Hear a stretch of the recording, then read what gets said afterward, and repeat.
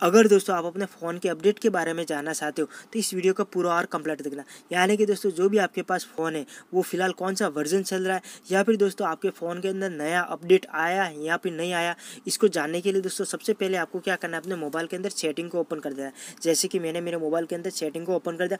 Open करने के बाद देखिए दोस्तों, आपको अपने मोबाइल के अंदर जहाँ पर भी अबाउट फ़ोन का ऑप्शन दिखाई दे, इसके ऊपर क्लिक कर देना। जैसे इसके ऊपर क्लिक करोगे दोस्तों तो आपके सामने कुछ इस तरीके की सेटिंग निकल कर आ जाएगी, जहाँ पर देखिए दोस्तों, मेरा जो भी वर्जन चल रहा है अभी, यहाँ पर ये देखिए दोस्तों मेरा जो भी वर्जन है, वो यहाँ पर बता दिया जा रहा है। जो देखिए दोस्तों, जो भी है, बारह point zero point zero point zero, ये वर्जन अभी फ़िलहाल इस वक्त चल रहा है। और दोस्तों, आप जानना चाहते हैं कि आपका फ़ोन अभी फ़िलहाल के टाइम अपडेट आया है या फिर नहीं, इसके लिए दोस्तों, इस तरीके का कुछ आपके मोबाइल के अंदर लोगो दिख रहा होगा, इसके ऊपर क्लिक कर दें। जैसे इसके ऊपर क्लिक करोगे दोस्तों तो आपको यहाँ पर देखिए दोस्तों चेक हो रहा है।